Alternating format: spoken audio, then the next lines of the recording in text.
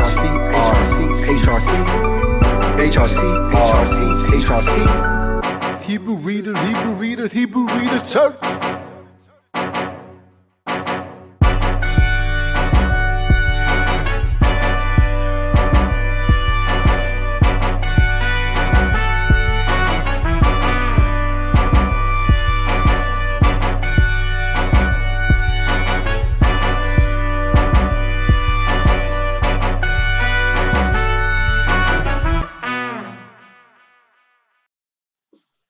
Welcome to Hebrew Readers Church, brothers and sisters. I'm your brother Kasafo, and this is your brother Zakwa. Oh yes, you introduce yourself. My bad. No problem. this lesson is a Christian's nutrition, understanding the abominable things, and I hire willing. This lesson is edifying for us all. And if you are new with us, welcome. Glad to have you here. Hope you're enjoying this time with us here today. All right. Jumping into the abominable things. Zachar, can you read the things we are commanded to do in Leviticus chapter 11, verse 39 and 40, please? And if any beast of which ye may eat die, he that toucheth the carcass thereof shall be unclean until the even. And he that eateth of the carcass of it shall wash his clothes and be unclean until the even. He also that beareth the carcass of it shall wash his clothes and be unclean until the even. Can you also read Leviticus chapter 17, verse 15, please? And every soul that eateth that which died of itself, or that which was torn with beasts, whether it be one of your own country or a stranger, he shall both wash his clothes, and bathe himself in water and be unclean until the evening. Then shall you be clean. All right. You have to wash your clothes and yourself before even to be clean when night comes if you eat any clean creature in either case. Can you read Leviticus 17 and 16, please? But if he wash them not, nor bathe his flesh, then he shall bear his iniquity. Any clean things that dies of itself or is torn by another creature is unclean to eat, and we will bear iniquity if we don't bathe and wash. The law does permit to give things that die of itself unto strangers and aliens. Can you read Deuteronomy chapter 14, verse 21, please? Ye shall not eat of anything that dieth of itself. Thou shalt give it unto the stranger that is in thy gate, that he may eat it. Or thou mayest sell it to an alien, for thou art holy people unto a higher thou This law about giving an animal that died of itself to a stranger is understanding that it is lawful to give clean animals that died of themselves to an unbeliever. Continue reading, please. Thou shalt not fear a kid in his mother's milk. So we can't cook male goats in their mother's milk. It's specific about male goats only in the Hebrew word. Also, if a clean animal is torn by another beast, we must cast it to the dogs, not giving it to anyone. Can you read Exodus chapter 22, verse 31, please? and ye shall be holy men unto me. Neither shall ye eat any flesh that is torn of beasts in the field. Ye shall cast it to the dogs. We also have to avoid eating any abominable thing. Can you read Deuteronomy 14 and 3, please? Thou shalt not eat any abominable thing. These abominable things can be identified in the law. Let's look at the unclean beasts in Deuteronomy chapter 14, verse 7 to 8, please. Nevertheless, these ye shall not eat of them that chew the cud, or of them that divide the cloven hoof, as the camel and the hare and the coney. For they chew the cud, but divide not the hoof. Therefore they are unclean unto you. Now, the camel, the hare, and the coney, they can't be eaten, so we can't eat anything with their flesh or substance in it, like a broth even. But they can't make us unclean by touching their dead carcass. Their fur can be used for clothing as well, by example of John using camel fur and it didn't defile him. Can you read verse 8, please? And the swine, because it divideth the hoof, yet cheweth not the cud, is unclean unto you. You shall not eat of their flesh, nor touch their dead carcass. So we can't eat anything with their substance in it either. We can't eat camel, rabbit, hare, or swine, nor touch their carcass because it's against the law to do. If we touch their carcass and find out about it, we have to confess the sin. Can you read Leviticus chapter 4, verse 27 and 28, please? And if any one of the common people sin through ignorance, while he doeth somewhat against any of the commandments of a higher concerning things which ought not to be done, and be guilty, or if his sin, which he hath sinned, come to his knowledge, and he shall bring his offering, a kid of the goats, a female without blemish, for his sin which he hath sinned. So the camel, the rabbit, the hare, and the swine's carcass can't defile us, as we read before. Hence, Eleazar wasn't defiled when they forced his mouth open to eat swine's flesh, because he spit it out, not eating it, which would have defiled his soul. Can you read 2 Maccabees chapter 6, verse 18 to 20, please? Eleazar, one of the principal scribes, an aged man, and of a well-favored countenance, was constrained to open his mouth and to eat swine flesh.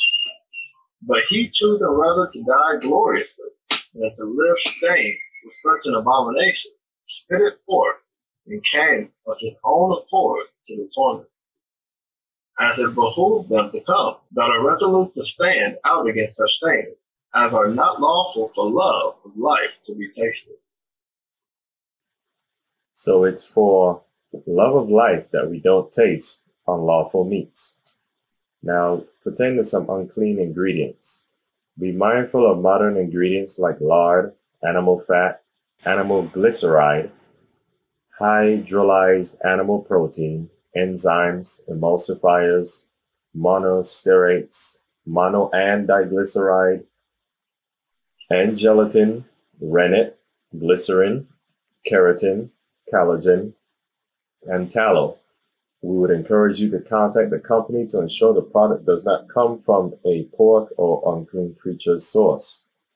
Sometimes the ingredients can come from a plant base or an animal base that is not from pork, so one has to contact the company to get the details. One could be getting defiled unawares, so be diligent because we are guilty for touching unclean things that can defile us, whether we know it or not. Can you read Leviticus chapter 5, verse 2, please?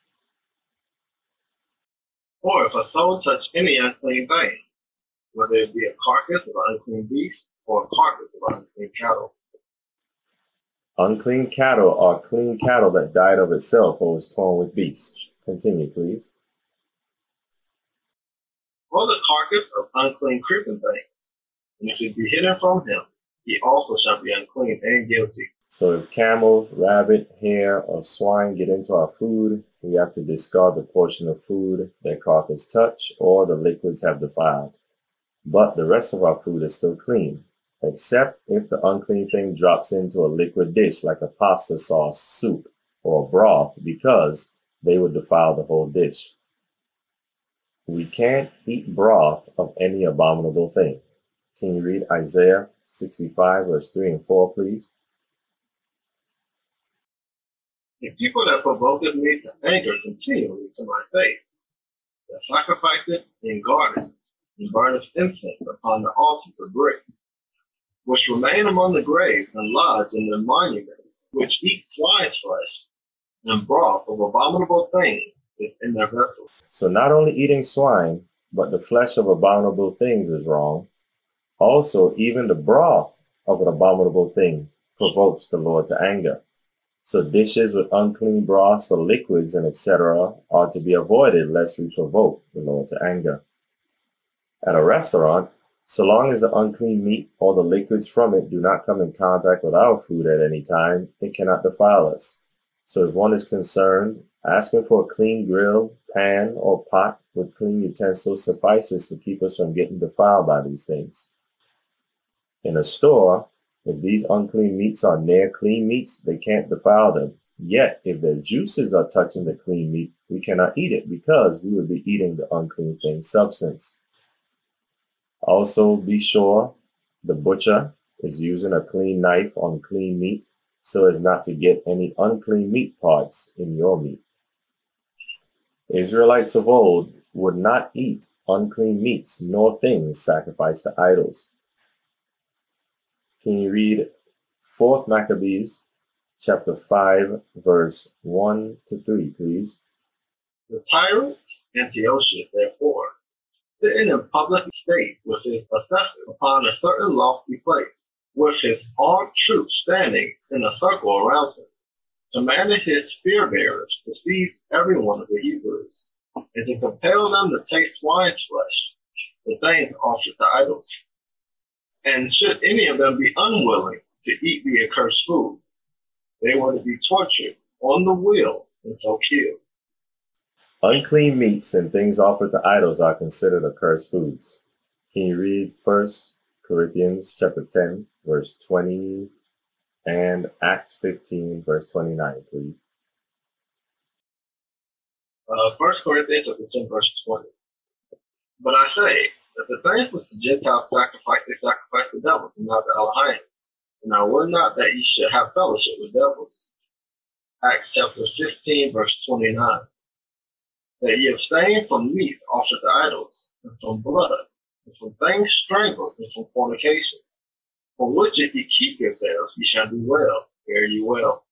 So we do well if we abstain from those things. Hence, birthday cake, Thanksgiving turkey, Easter Sunday meals, Halloween candy, Christmas meals, for example, are meats offered unto idols among the customs of the heathen that we ought to partake in.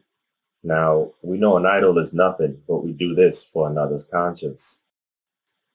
Let's continue learning of the rest of the abominable things, the unclean creatures of the sea. Can you read Leviticus chapter 10? I'm sorry, chapter 11, verse 10 to 12, please? Leviticus chapter 11, verse 10. And all that have not fins and scales in the seas and in the rivers, of all that move in the waters, and of any living thing which is in the waters, they shall be an abomination unto you. They shall be even an abomination unto you. You shall not eat their flesh, but you shall have their carcasses an abomination. Whatsoever hath not fins, nor scales in the waters, that shall be an abomination unto you. Unclean sea creatures are an abomination. It doesn't defile us to touch their carcass, Yet we ought to view their carcass as abominable and have them in abomination. So lobster, shrimp, calamari, oysters, octopus, catfish, caviar, and etc. are unclean unto us for eating. If the substance of such like things are in our food, we cannot eat it lest we be unclean. In a store, the things of the sea carcasses can't defile us. So if there's catfish next to salmon, and the catfish liquids isn't marinating into the salmon, then the salmon is fine because we won't be eating catfish. Continuing to unclean birds. Can you read Deuteronomy chapter 14, verse 12 to 19, please? Deuteronomy chapter 14, verse 12. But these are they of which ye shall not eat the eagle, and the ostrich, and the osprey, and the glede, and the kite, and the vulture after his kind, and every raven after his kind, and the owl, and the nighthawk, and the cuckoo, and the hawk after his kind, the little owl, and the great owl, and the swan. So let's look at the definition for swan. This is something important for us. It's H8580. The Strong's definition is properly a hard breather, that is, the name of two unclean creatures, a lizard and a bird, both perhaps from changing color through their irascibility. Probably the tree toad and the water hen. This is some specific. The water hen, when it speaks of swans, these are types of water hens. The swan, English definition, is swans are birds of the family of the Anatidae within the genus Cygnus. The swan's closest relatives include the geese and ducks. So this helps understand that duck is also a part of the water hen family or swan family in the scripture, and it's not for us to eat. The water hen definition is an aquatic rail, especially a moorhen or related bird. Amaurornis rails, a genus of birds in the rail family. We have some information. If you download the PDF to the lesson, you'll have this information as well with the links to understand that ducks are also unclean for us to eat. Continuing in Deuteronomy 14, verses 17 and 18, please. And the pelican, and the gier eagle, and the cormorant, and the stork, and the heron after her kind, and the lapwing, and the bat.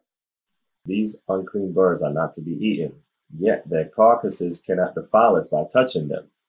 If their substance is in our food, we cannot eat it because we would be eating an unclean thing, as we discussed with the prior uh, creatures as well. Continuing in Leviticus chapter 11, verse 13, please. And these are they which ye shall have an abomination among the fowls. They shall not be eaten, they are an abomination. So all the fowls that we just went over, they are an abomination and they shall not be eaten. Now, going on to unclean flying insects. Can you read Leviticus chapter 11, verse 23, please? For all other flying creeping things which have four feet shall be an abomination unto you. Flying insects have four feet and two hands, which is why we see six limbs on them. You can reference the book of Proverbs to understand that the spider works with her hands. So those two front limbs are actually hands even as you see mosquitoes there doing whatever they're doing when they are standing still. Now, can you read Deuteronomy? can you read Deuteronomy 14 and 19, please? And every creeping thing that flieth is unclean unto you. They shall not be eaten. So all flies, gnats, mosquitoes, bees, and flying insects of every kind, besides Locusts, crickets, and grasshoppers are abominations, and unclean for us to eat, though their carcasses cannot make us unclean by touching them. For example, killing a mosquito doesn't make you unclean, or a dead mosquito falling on you doesn't make you unclean. But eating one that fell in your food will make you unclean. So hopefully that helps for clarity. And we did talk about the grasshoppers and crickets last week. I did get some. I did taste them. The crickets actually taste better than the uh, grasshoppers. I got this Mexican flavor for the grasshoppers. It was too too much lime in it for me. But I got some spicy crickets and I've enjoyed it. I actually have one here so you all can see the evidence. You probably can't tell, but this is some cricket here. I'll eat some later, not while we're on the lesson. Let's get into the unclean beasts that have hoofs. Can you read Leviticus chapter 11, verse 24 to 26, please? And for these ye shall be unclean. Whosoever touches the carcass of them shall be unclean until evening. And whosoever bear part of the carcass of them shall wash his clothes and be unclean until evening. The carcasses of every beast which divides the hoof and is not clothed and footed, nor cheweth the cud, are unclean unto you. Everyone that toucheth them shall be unclean. So horses and those of that family are unclean for eating, and we are not to touch the carcasses lest we be unclean until the even. Yet you don't have to bathe or wash in that scenario. If we carry their carcass, we have to wash our clothes before evening is over though. Continuing in Leviticus chapter 11, verse 27, please. And whatsoever goeth upon his paws among all manner of beasts that go on all four, those are unclean unto you. Whosoever touches the carcass shall be unclean until the even. So these are canines and felines that fit into this category, along with badgers and those of that type.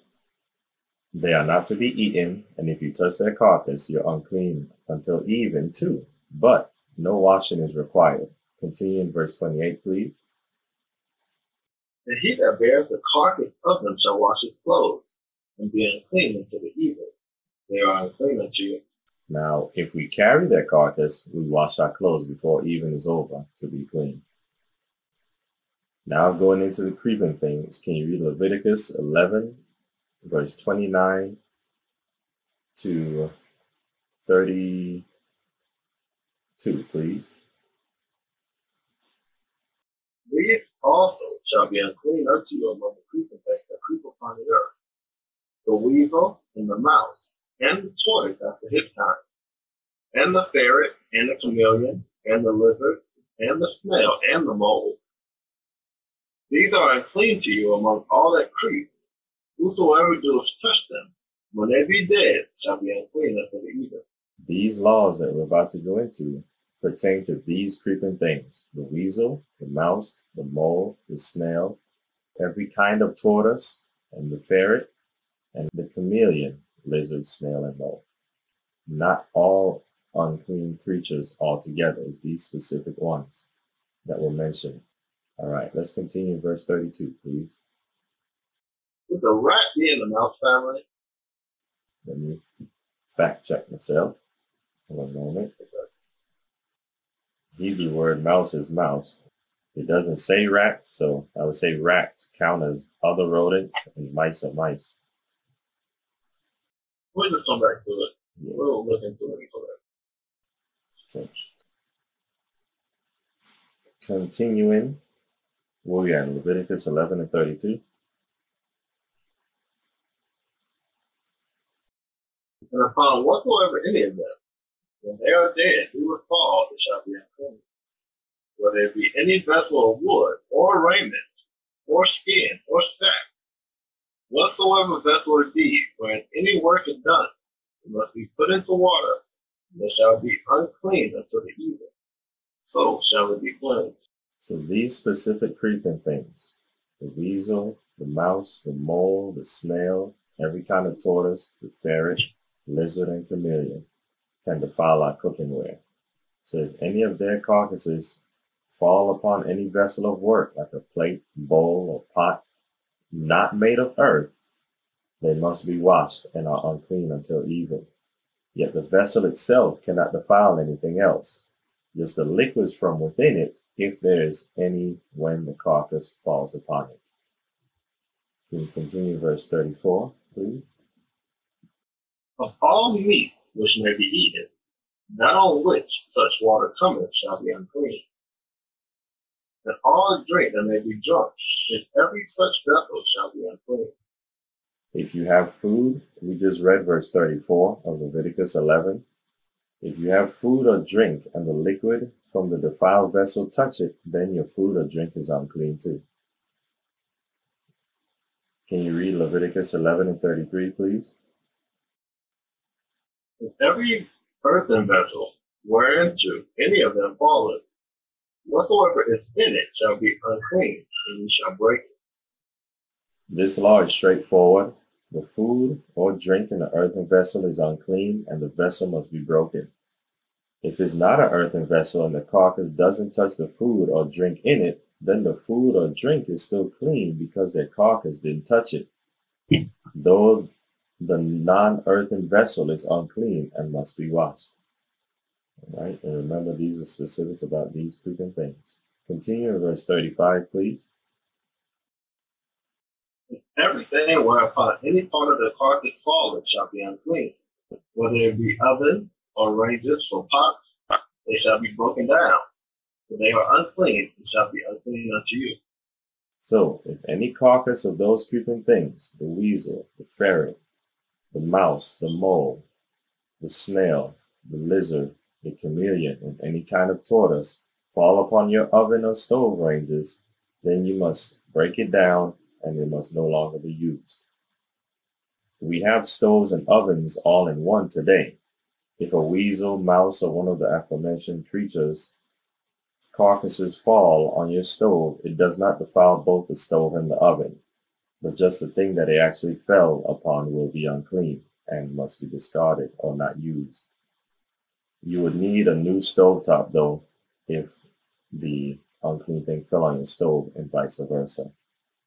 Continuing in Le- Leviticus 11 and 36, please.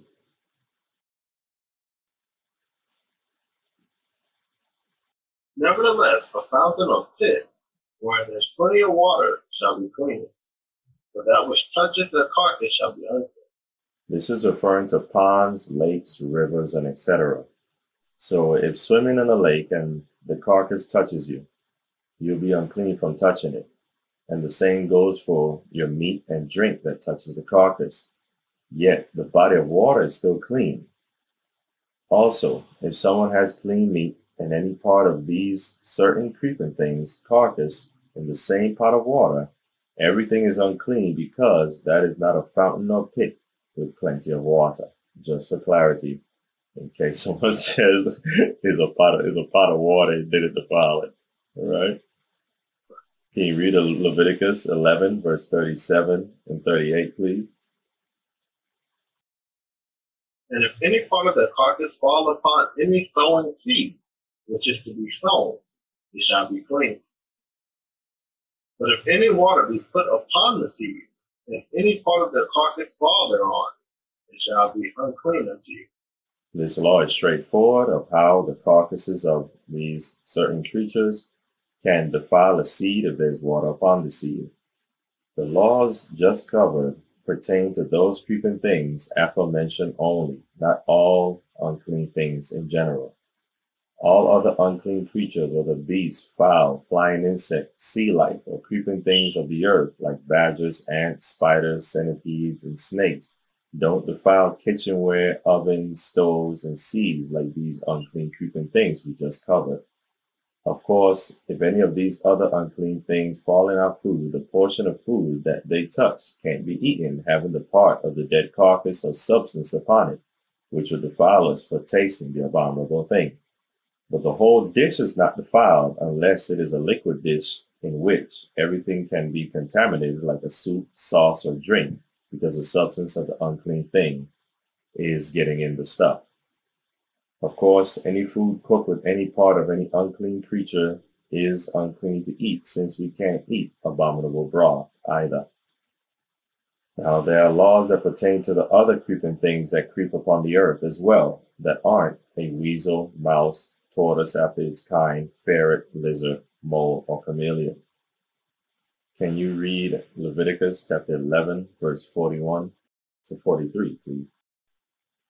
And every creeping thing that creepeth upon the earth shall be an abomination. It shall not be eaten. Whatsoever goeth upon the belly, Reptiles like snakes. Continue, please. and whatsoever goeth upon all four, Other rodents, other creatures that are part of like the weasel family, known as the Mustelidae family, and reptiles like gators and crocs and such. Continue, please. but whatsoever hath more feet among all creeping things that creep upon the earth, Ants, spiders, centipedes, roaches, and such critters. Continue, please. them shall not eat, for they are an abomination. Continue. Ye shall not make yourselves abominable with any creeping thing that creepeth, neither shall you make yourself unclean with them, that you should be defiled thereby. Eating these other creeping things would make us abominable, yet touching their dead carcass cannot make us unclean, like the weasels, mice, tortoise, after its kind, ferrets, chameleons, lizards, snails, and moles would. So if we touch an ant, roach, snake, or spider, for example, we would not be made unclean.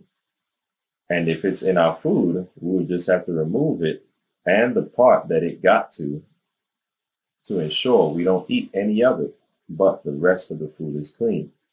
Of course, if it falls into a pot of liquids, the unclean thing is cooking into the water, making the broth abominable, so that's unclean.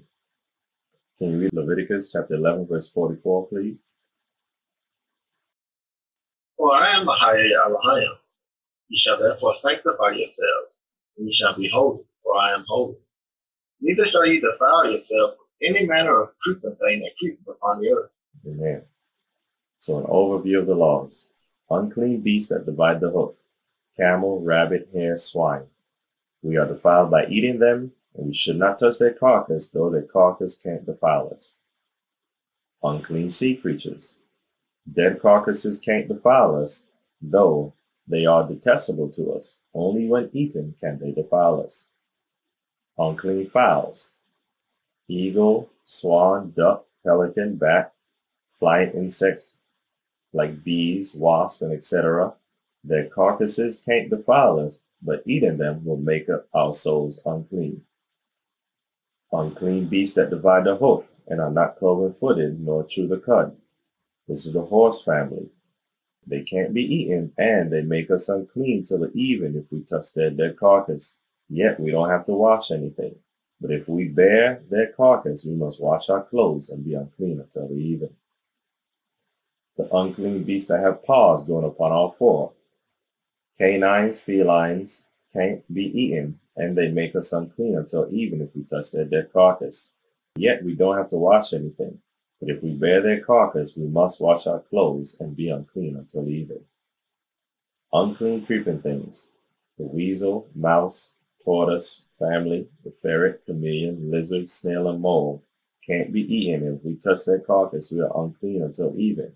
And whatever vessel and kitchenware, food or drink they fall on when dead are unclean. Now the other unclean creeping things other unclean creeping things can't be eaten as well, but their carcasses can't defile us or our stuff like the aforementioned creeping things. Now, the unclean creeping things that creep, creeping insects. All creeping things that creep upon the earth, like spiders, ants, centipedes, snakes, are abominations and shall not be eaten. Their carcass cannot make us unclean, though they are abominable to us. And the clean beast that died of itself or was torn, touching their carcasses cannot make us unclean. But if we eat of it, it defiles us. We have to bathe and wash our clothes, or else we bear iniquity for it.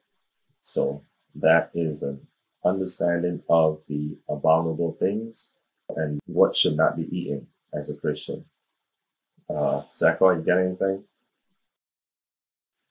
No, no, All right.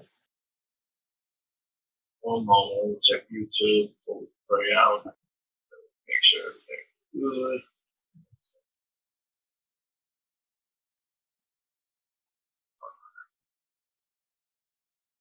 Right. Chapter Tower family. Everybody right. Chapter Tower goes in. Shalom, everyone. You want to go ahead and pray, bro? Sorry, sure, I'll pray. Our Father, who art in heaven, hallowed be thy name. The kingdom come, and thy will be done on earth as it is in heaven. Give us this day our daily bread, and forgive us our debts, as we forgive our debtors. And lead us not into temptation, but deliver us from the evil one. For thine art the kingdom, the power, and the glory forever.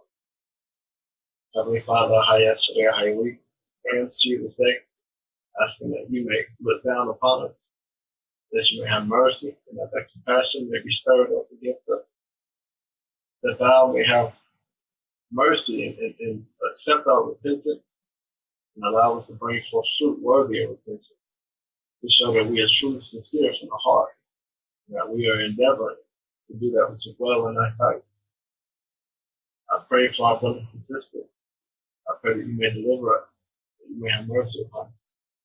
May the holy name be exalted in the name of Yahshua we pray and say. Amen. Amen. Hallelujah. All right, brothers and sisters. I be with you all. Praise the Lord. Shalom. All right, everybody. We'll see you on the next lesson. Ciao.